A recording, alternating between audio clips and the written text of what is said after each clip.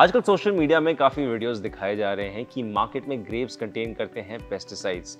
अब ये हो गया है वायरल। क्या आपको इस पे भरोसा करना चाहिए? डॉक्टर मीनाक्षी जैन, जो कि director of internal medicine at Max super speciality hospital है, उनका ये कहना है कि पेस्टिसाइड्स ऑल दो क्रॉप्स को प्रोटेक्ट ज़रूर करता है, लेकिन ये रिस्की रह सकता है बिकॉज़ ऑफ़ द रेजिड्यूज जो फ्रूट्स कंटेन करते हैं।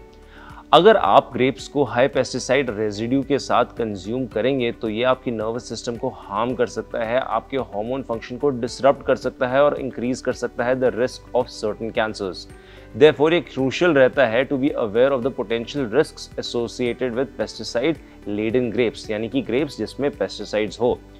अब इस केस में क्या करना चाहिए? क्या ग्रेप्स को बेकिंग सोडा में धोया जाए या ब्लीचिंग किया जाए?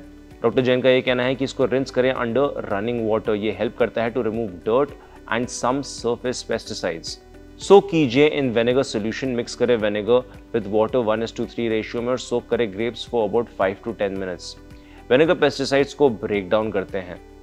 फिर रिंस करें। After soaking rinse grapes thoroughly under running water also doctor Deepti Khatuja का ये कहना है कि washing with two percent salt water will remove most of the contact pesticide residues जो नॉर्मली अपेयर होता है on the surface of fruits और vegetables better effect के लिए रिकमेंडेड है कि फ्रूट्स को वॉश किया जाए, जैसे कि grapes apples guava plums mangoes peaches and pears at least two two three times क्या कहना आपका इसके बारे में? हमें कमेंट सेक्शन में ज़रूर बताएँ और हेल्थ लाइफ को लाइक शेयर और सब्सक्राइब करना ना भूलें।